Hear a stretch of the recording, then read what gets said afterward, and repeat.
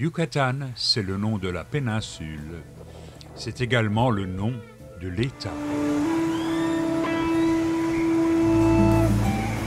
Izamal, c'est la ville jaune.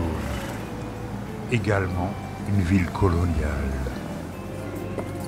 C'est le pèlerinage à Saint-Antoine de Padoue et le cloître de couleur jaune qui ont fait connaître Izamal. Izamal se trouve à 72 km à l'est de Mérida. Elle compte environ 15 à 16 000 habitants. Izamal possède un des plus grands cloîtres de Mésoamérique. Elle a été fondée vers 600 après Jésus-Christ et il y a plus de 80 structures précolombiennes recensées. Avant d'être un pèlerinage à Saint-Antoine de Padoue, Izamal était un important centre maya. Le couvent a été fondé au XVIe siècle, de même que la ville au sommet de l'ancienne cité maya. Dans le cloître, une statue de Jean-Paul II accueille le visiteur. Le petit port de Chicxulub nous accueille dans son cadre absolument idyllique.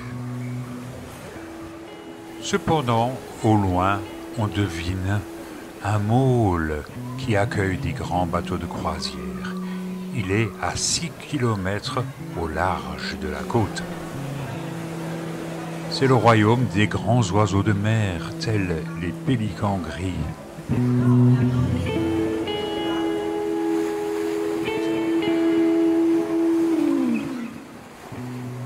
Parfois des ULM viennent troubler la quiétude du lieu.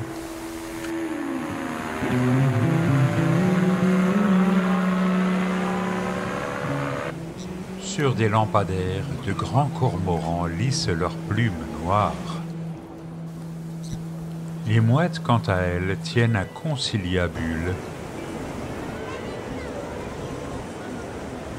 J'aime Chicxulub, d'autant plus qu'il y a 62 millions d'années, c'est le lieu où un astéroïde vint sonner le glas des grands dinosaures, dont les descendants sont peut-être ces magnifiques pélicans. Ou cette sterne voyageuse